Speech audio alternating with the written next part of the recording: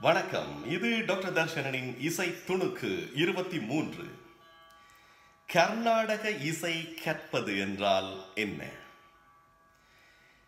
எங்களுடைய பிள்ளைகள் இந்த ஸ்வர வரிசைகள் அலங்காரங்கள் வரைக்கும் இந்த சரிகம பதனிச எல்லாவற்றையும் கற்றுவிட்டு எல்லாத்தையும் பாடமாக்கிட்டு வரபோது எங்களோட பிள்ளை கர்நாடிக் மியூசிக் படிச்சிட்டா? என்று நாங்கள் நினைப்பதுண்டு ஆனால் உண்மையில் கர்நாடக இசை என்றால் என்ன என்று தெரிந்தால்தான். எங்கட பிள்ளை கர்நாடக இசை படிச்சாவா? அல்லது இசை படிச்சாவா? அல்லது இசையே கற்கவில்லையா? அந்த ஸ்வர வரிசைகளை பாடமாக்கினால் கர்நாடக இசையை எங்களுடைய குழந்தை கற்று தேர்ந்து விட்டதாக அர்த்தமா? அல்லது கற்க ஆரம்பித்து விட்டதாக அர்த்தமா? எதுவுமே கிடையாது. ஏனென்றால் ஸ்வரங்களிலே கர்நாடக இசை தங்கியிருக்கவில்லை. ஸ்வரங்களிலே கர்நாடக இசை உயிர் வாழவில்லை. இசை ஸ்வரங்களிலே உயிர் வாழ்கின்றது. ஆனால் கர்நாடக இசை ஸ்வரங்களில் உயிர் வாழ்வதில்லை. ஆகவே ஒவ்வொன்றுக்கும் ஒவ்வொரு தனித்துவம் உண்டு.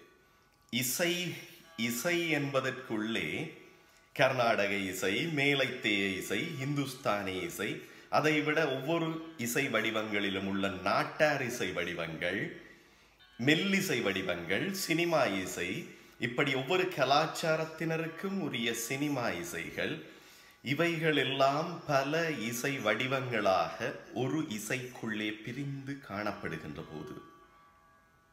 கர்நாடக இசை என்றால் என்ன என்று வரையறை செய்தால் கர்நாடக இசை என்றால் என்ன என்று மிக தெளிவாக இலகுவாக கர்நாடக இசையை கற்காதவர்களும் புரிந்து கொள்ளும் வகையில் தெரிந்தால்தான் நாங்கள் எங்களுடைய குழந்தை கர்நாடக இசை கற்கப் போய் கர்நாடக இசை கற்றுக்கொண்டுள்ளதா இல்லையா என்பதை காசு கொடுக்குற நாங்கள் அறிய முடியும் ஃபீஸை கொடுத்து அனுப்புகிற நாங்கள்.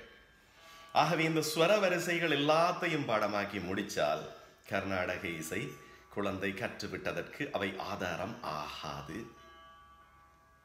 கர்நாடக இசை என்றால் என்ன என்று பார்த்தால்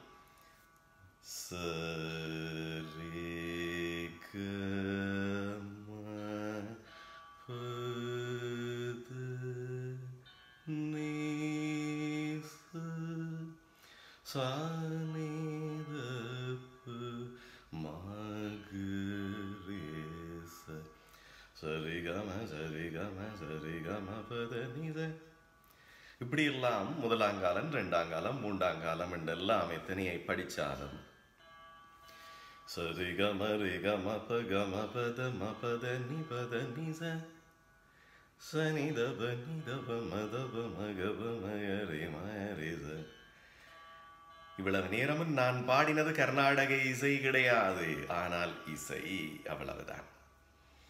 கர்நாடக இசையில் இதை மாயாமாளவ கவுளை என்கின்ற ராகம் என்று கேள்விப்பட்டிருப்பீர்கள். குழந்தைகள் படித்துவிட்டு கொண்டு புத்தகத்தை காட்டுற போது அந்த நோட் புக்கில் கொப்பியில் எழுதியிருக்கும் மாயாமாளவ கவுளை ராகம் தாளமாதி. தாளமாதி சரி. ஆனால் இப்ப நான் படிச்ச அவ்வளவு மாயாமாளவ கவுளை ராகம் கிடையாது. மாயாமாளவ கவுளை ராகத்துக்கும் இப்பொழுது நான் படித்த அந்த ஸ்வரஸ்தானங்களுக்கும் தொடர்ச்சிகள் தொடர்புகள் மிக குறைவு. அது எப்படி? மாயா மாணவ கவுளை ராகம் எப்படி இருக்கும் என்று பார்த்தாலே நாங்கள் கர்நாடக இசை எப்படி இருக்கும் என்பதற்கு ஒரு உதாரணத்தை தெரிந்து கொண்டவர்களாவோம். மாயாமாளவ கவுளை எப்படி இருக்கும்? அதிலே இருக்கின்ற எல்லா சொரஸ்தானங்களும் ஒரே மாதிரி அதனுடைய கீபோர்ட் நோட்ஸிலே ஒலிப்பது கிடையாது.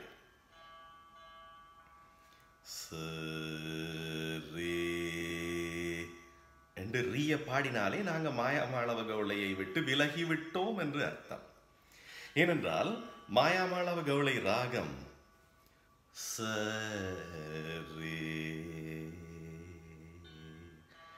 க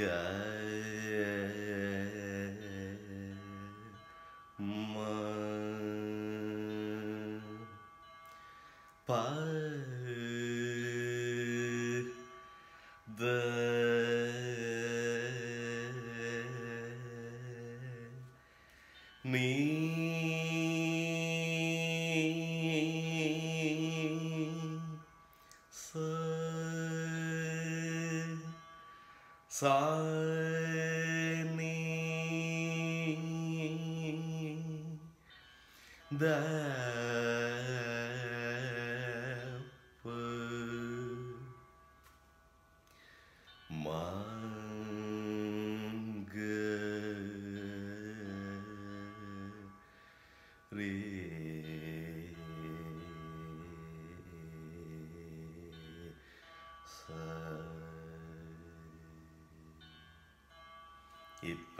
இருக்கும். இப்படி இருக்கும் என்றால் எப்படி இருக்கும்? சங்கீதம் படிக்காதாக்களுக்கும் பெற்றோர்கள் நாங்கள் விளங்கும்படியாக சொல்லுங்களேன் சொல்கிறேன். அப்ப ஏன் அப்படி இருக்காது? இப்படி இருக்கும். அப்படி முதலிலே நான் சரிகம பதனிச என்று பாடியதற்கும் இப்பொழுது பாடியதற்கும் என்ன வித்தியாசம்? என்று கேளுங்கள். இந்த ஸ்வரஸ்தானங்கள் என்று சொல்லப்படுபவை இந்த ச ரீகம பதனி அதுக்கு பிறகு அந்த மீண்டும் தாரஸ்தாயிலே வருகின்றது. அப்போ இந்த சுரஸ்தானங்களை எல்லா சுரஸ்தானங்களையும் ஒரே மாதிரி அது அதின் கீபோர்ட் நோட்டில் அந்தந்த ஃப்ரீக்குவென்சியில் அல்லது அந்த அதிர்வெண்ணிலே பாடுவதில்லை. எப்படி? ஒரு ஸ்வரம் பலமில்லாத ஸ்வரம் என்றால் அது பலமான ஸ்வரத்தை நோக்கி சென்று அதிலே ஒட்டி கொண்டிருக்கும் அல்லது பலமான ஸ்வரத்தில் ஆரம்பித்து பலம் குறைந்த ஸ்வரத்தை நோக்கி நாங்கள் பலம் குறைந்த ஸ்வரங்களை பாடுவோம். அதாவது பலங்குறைந்த சுரத்திலே நாங்கள் மாடி வீடு எடுத்த உடனே ரெண்டாம் மாடியில் போய் குதிக்க முடியாது. ஏன்? ரெண்டாம் மாடி பலங்குறைவு அப்ப கிரவுண்டில் போய் இறங்கி அதிலிருந்து லிஃப்டில் ஏறித்தான் நாங்கள் ரெண்டாவது மாடிக்கு போவதுண்டு. அப்போ அதற்காக இந்த மாயமாளவ கோலையில் இருக்கிற எல்லா ஸ்வரங்களும் மேலே இருப்பவை பலங்குறைந்தவை என்று அல்ல. சில ஸ்வரங்கள் பலமானவை சில ஸ்வரங்கள் பலம் குறைந்தவை. ஆகவே ஒரு ராகத்தை பாடுவதற்கு முன்னர் கர்நாடக இசையிலே. பலம் குறைந்த ஸ்வரங்கள் எவை எவை பலம் கூடிய ஸ்வரங்கள் எவை எவை என்பதை நாங்கள் அறிந்து கொள்ள வேண்டும். அவற்றை எப்படி பாட வேண்டும் என்பது என்பதை தெரிந்து கொண்ட பின்னரே அவற்றில் பயிற்சி பெற்று அதனை பாட முடியும். அவ்வாறு அசைத்து பாடவில்லை எனில் அசைப்பது என்றால் என்ன? பலம் குறைந்த ஸ்வரங்களை பலம் கூடிய ஸ்வரங்களில் ஆரம்பித்து அதன் பின்னர் அதனை அடிக்கடி பலம் கூடின ஸ்வரத்தோடு சேர்த்து சேர்த்து பாடுவது. ஆகவே இது அரசியல் போன்றது. கர்நாடக இசையிலே கூட அரசியல் கருத்துக்கள் உண்டு பாருங்கள். ஒரு கட்சிக்கு பலம் குறைவென்றால் பலம் கூடின கட்சியோடு அது இணைந்து கொள்ளும். அடிக்கடி பலம் கூடின கட்சியை சென்று சந்தித்து திரும்பி வரும். தானே பலசாலி என்றால் அவரைத்தான் மற்ற கட்சியினர் சென்று ரகசியமாக சந்திப்பார்கள். ஆகவே இந்த கர்நாடக இசையிலும் இந்த அரசியல் கருத்துக்கள் அன்றே விதைக்கப்பட்டுள்ளன. அரசியல் தந்திர உபாயங்கள் கர்நாடக இசையிலும் உள்ளன. இந்த ச பலமானதா? பலம் குறைந்ததா?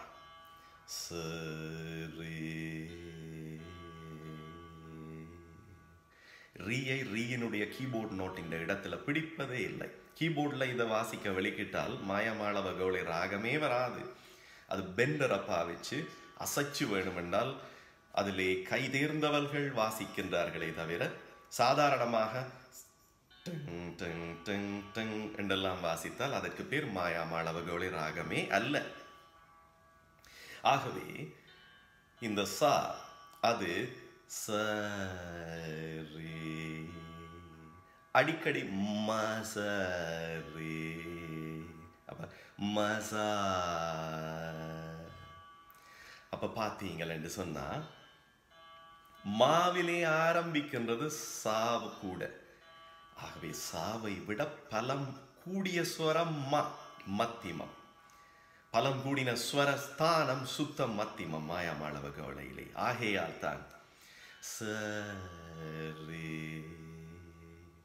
ரீக்கென்ற ஒரு இடமே கிடையாது. ரீ சாவிலே தொடங்கி ரீச ரீச ரீச ரீச என்று அசைன் அடிக்கடி சாவை போய் சந்தித்து விட்டால் தான் அவர் உயிர் வாழ முடியும். சரி. க சரிக்கு பிறகு எங்க போறோம்? மா மாவில தொடங்கித்தான் சரி. மக மக மக மக மக. சரி. க மக மக மக மக. காவை பாடும்போது மாவை அதிக நேரமும் ப்ரொபோஷனேட் மாவை ரெண்டு மடங்காகவும் காவை ஒரு மடங்காகவும். மாரண்டு காவண்டு மாரண்டு காவண்டு ரெண்டு மடங்கு நேரம். மாவின் ஆட்சி அதிகரிக்கின்றது அங்கேயும். அப்ப காவுக்கு அங்கே பலம் குறைவு. அது மாவிலே போய் தொட்டு தொங்கிக் கொண்டுதான் நிற்கின்றது. மாவிலே காவை தொட்டு தொங்கிக் கொண்டே நிற்கின்றது. அதனாலே தனித்து நிற்க முடியாது மாயாமளவுகளை ராகத்திலே. ஆகவே ஒவ்வொருவர் ஒவ்வொரு நாட்டிலே பலம் கூடியிருப்பார்கள். வேறு நாட்டுக்கு சென்று விட்டால் அவர்களால் அதே பலத்துடன் சீவிக்க முடியாது. அதே போல தன் மாயாமாளவர்களை ராகத்துக்குள்ளே வந்து சேர்ந்த ரீயும் காவும் இந்த நிலையைத்தான் பெறுகின்றன. சரி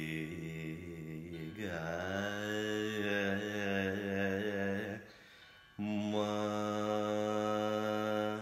மா தந்த கீபோர்ட் நோட்ல அதே இடத்துல அசையாமல் நிற்பார் மிச்சாக்கள் தான் அவரை போய் சந்திப்பினர் ஆகவே பலம் அதிகமான நோட் மா. அந்த மாவை அசைத்து விட்டால் மாயமாளவுகளின் பலம் போய்விடும்.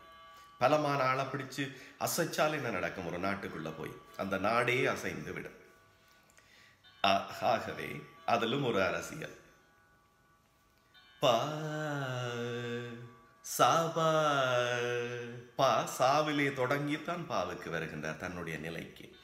இருந்தாலும் அவர் அசையாமல் பாவிலேயே நிற்பார். பா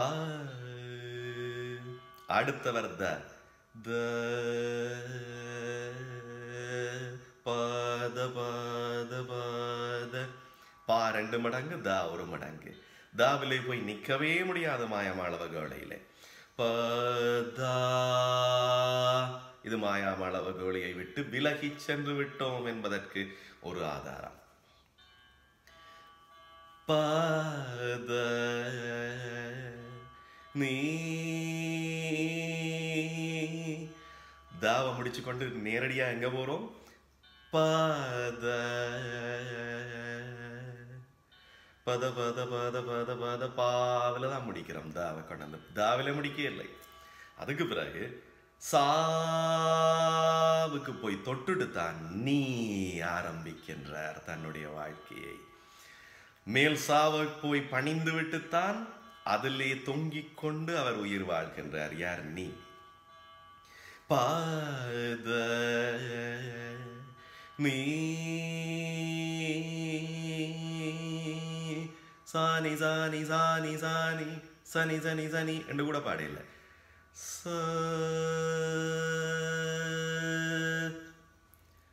சா தன்னிடத்தில் நிற்கிறார். சா நீ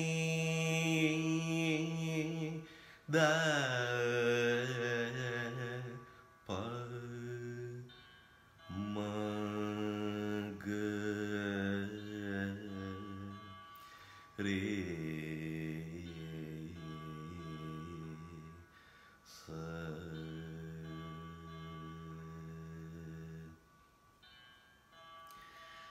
இதில் இந்த ஸ்வரஸ்தானங்கள்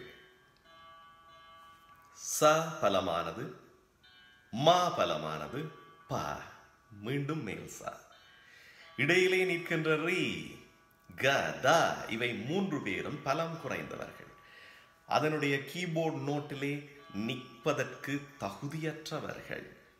அப்ப அந்த சுரஸ்தானங்களை நாங்கள் பலமான சுரஸ்தானங்களுடன் இணைத்து அணைத்து பாட முடியுமே தவிர தனித்து அவர்களால் உயிர் வாழ முடியாது இந்த ராகம். மாயா மாளவ கவுளை என்கின்ற நாட்டிலே தன்னிறைவு பொருளாதாரத்தையோ தன்னிறைவு அதிகாரத்தையோ கொண்டிராத ரிஷபம் காந்தாரம் தைவத்தம். அதாவது சுத்த ரிஷபம் அந்தர காந்தாரம் சுத்த தைவத்தம். அது மட்டுமில்லை. காகலி நிஷாதம். இந்த நான்கு ஸ்வரஸ்தானங்களும் அப்ப பாருங்கள் மொத்தம் ஏழு ஸ்வரங்கள் அல்லது ஏழு ஸ்வரஸ்தானங்கள். அதுக்குள்ளே நான்கு தனித்து வாழுவதற்கு தகுதியற்றவை தன்னிறைவற்றவை. இங்கே பொருளாதார கொள்கை வருகின்றது பாருங்கள். தன்னிறைவு இல்லாதவர்கள் தன்னிறைவு உடையவர்களில் தங்கி வாழ நேரிடும். அவர்களின் ஆதரவை பெற்றே உயிர் வாழ நேரிடும். ஆகவே தன்னிறைவு உடைய ஸ்வரஸ்தானங்களை நம்பியே ஒரு ராகம் பாடப்பட வேண்டும் பாடப்படலாம் கர்நாடக இசையிலே. தன்னிறைவு பெறாத மற்றைய ஸ்வரஸ்தானங்கள் தன்னிறைவு பெற்ற ஸ்வரஸ்தானங்களை தழுவியே வாழும். இப்பொழுது இன்னொரு கேள்வியுடன் இந்த இசை துணுக்கினை நிறைவு செய்ய இருக்கின்றேன். அது அடுத்தடுத்த இசை துணுக்குகளிலே தொடர்வதற்காக மாயா மாணவ கவுளையை எழுபத்தி ரெண்டு மீளகர்த்தா ராகங்களுக்குள்ளே பதினைந்தாவது மீள ராகம் என்றும் தாய் ராகம் என்றும் சம்பூர்ண ராகம் என்றும் பல வகைகளிலே அதன் சிறப்பியல்புகளை விளக்கி எடுத்துரைத்து இந்த நெட்டில் யூடியூப்ல எல்லா இடத்துலையும் புத்தகங்களில் எல்லா இடமும் எழுதப்பட்டுள்ளது சம்பூர்ண ராகம் என்று சொல்லப்படுகின்றது ஆனால் மாயாமாளவ கவுளை இப்பொழுது நான் பாடியதை வைத்துக்கொண்டு பார்க்க போனால் சம்பூர்ண ராகமா சரி சரி சரி சரி ச மாக மக மக மக மக மா சாபா பத பத பத ப சா நிச நிசா நிசா நி சா இதுதான் மாயா மாளவ கவுளையினுடைய உண்மையான ஆரோகணம் வக்ரம். எத்தனை வக்ர பிரயோகங்கள் அங்கே வருகின்றன? சா சானி சானி சானி சானி சனி சனி சனி சனி ச பத பத பத பத ம மக மக மக மக மக சரி சரி சரி சரி சரி. ச இது மாயா மாளவ கவுளை என்கின்ற கர்நாடக இசையில் உள்ள இராகத்தின் அவரோகணம். ஆகவே வக் வக்ர ஆரோகண வக்ர அவரோகண. அதிலே ரீ வரவில்லை ரீ சும்மா உச்சரிக்கப்படுகின்றதை ஒழிய உண்மையான ரீயிலே நாங்கள் போய் நின்று பாடுவதில்லை. அது சாவை அசைத்து விட்டால் எப்படி இருக்குமோ அப்படித்தான் அந்த ரீ கேட்கின்றது எங்களுக்கு. ஆகவே ரீ சரியான சுரஸ்தானத்தில் நிற்பதில்லை. க அந்தர காந்தாரம் சரியான சுரஸ்தானத்தில் நிலைத்து நின்று பாடப்படுவதில்லை. மாயமாளவர்களை ராகத்திலே. த நீ. மொத்தம் ஏழில் நாலு போச்சு. மிச்சம் மூன்றே மூன்று ஸ்வரங்களை மட்டும் கொன்றுள்ள ரா கொண்டுள்ள ராகத்துக்கு என்ன பெயர்? மூன்றே மூன்று ஸ்வரஸ்தானங்களை மட்டும் தனியே கொண்டுள்ள ராகத்துக்கு ஸ்வராந்தர ராகம் வந்து நான்கு சுரஸ்தானம் இருக்கணும். இதில் மூன்று தான் இருக்கு. மிச்சமெல்லாம் அனுஸ்வரங்கள் மாதிரி. அனுஸ்வரம் என்ன? தனித்து நிலைத்து நிற்க முடியாமல் மற்ற ஸ்வரங்களோட சேர்ந்து சேர்ந்து ஒலிக்கிறது.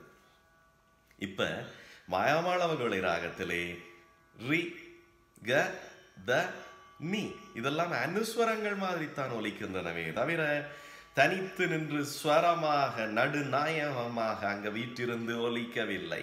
ஆகவே மாயாமாளவர்களை ராகத்திலே உண்மையில் சொல்ல போனால் ஸ்வரஸ்தானங்கள் மூன்று. ச மா பா அவ்வளவுதான். ஆனாலும் இது இசை ஆராய்ச்சியின் விளைவாக.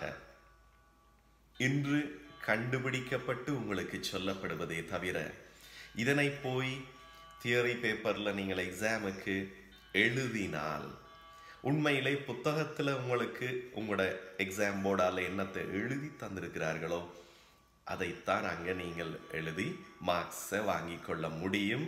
என்று நான் நினைக்கின்றேன். அப்ப அவ்வாறு இல்லாமல் உண்மையை சொல்ல போகின்றோம் உண்மையை எடுத்துரைக்கப் போகின்றோம் என்று இந்த விடயங்களை துணிச்சலாக யாராவது ஒரு மாணவன் எழுதினால் அந்த துணிச்சலுக்கு இந்த சமுதாயத்தில் பெருமதி உண்டா இல்லையா என்பது எனக்கு தெரியாது. அன்று உலகம் தட்டை என்று சொல்லப்பட்ட போது உலகம் உருண்டை என்று சொன்ன ஒரே ஒருவர் தண்டிக்கப்பட்டார். அன்றைய நீதிமன்றத்தால் கொல்லப்பட்டார். ஆகவே உண்மைகள் நிலைப்பதற்கு நீண்ட நாள்களாகும் அதுவரை உண்மைகள் உறங்கிக் கொண்டுதான் உயிர் வாழும் என்று சொல்லிக்கொண்டு அடுத்த இசை துணைக்கில் மீண்டும் உங்களை சந்திக்கும் வரை நன்றிகளுடன் வணக்கங்கள்.